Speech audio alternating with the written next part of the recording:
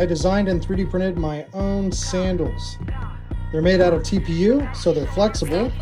And this is the design that I went with. If you guys want to download this design for free, uh, go ahead and check the link in my bio and go ahead and download it from my Cults 3D page. All right, later.